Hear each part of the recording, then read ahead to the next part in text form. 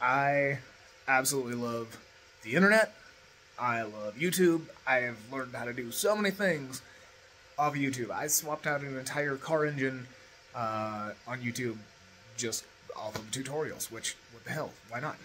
Uh, there was another guy, I'm going to look up the name of the guy uh, and put it somewhere in here, but he solved the problems. He had the same problems I had.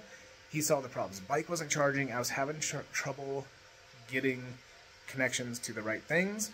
I don't know if you can hear it now, but the fan is running because the bike is charging. Let me show you what he told me he did. So, on this uh, cable, this green wire was in here. Uh, that was giving it uh, 220, or giving it power. Apparently, was not supposed to be getting power, so they moved it from here to uh, not the ground, the common, and it's like 10 o'clock. I just saw the comments, but now I'm getting charge. So, whoever the dude was, uh, I'm gonna message you right after this and let you know that holy crap, it worked. But now I can go ride this tomorrow.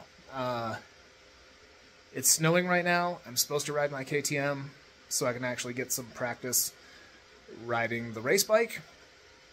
But I really want to go out and ride this thing because holy crap, it's charging. It's charging. All right. Thank you, dude.